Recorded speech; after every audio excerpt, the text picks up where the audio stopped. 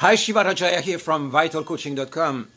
the topic for this video is uh, clarity. We're talking about coupling dynamics. So, the idea of clarity is another core quality that you want to embody in your coupling experience. Really bring that into, into your couple space. So, what does clarity mean?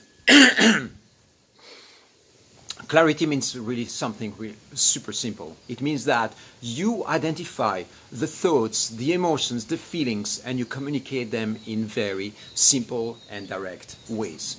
Something, the opposite of clarity is simply confusion. It's like, for instance, your partner might say, Would you like to go to the beach tomorrow? Or would you like to go to this party? Or we have an invitation with some friends. Is this something that is a match for you? And the answer might be, I would love to go, but I don't know. But yeah, maybe let's do it, but not really because uh, I don't know. I don't know what to decide. I don't know what, what I want. I'm confused, you know. So this answer is going to be a confusing answer that is going to create a ground that is really unstable and unsafe to navigate. So when you feel that you are confusing your partner by giving really unclear answers, especially in communication, especially when you are sharing something profound and important to you, then the idea is this, is come back to simplicity, come back to giving very clear signals and very clear information when you're communicating with your partner. It's a very simple thing to do and at, at the same time it is a practice. So how do you do that? You first clarify inside yourself, what are your truths? What is the answer?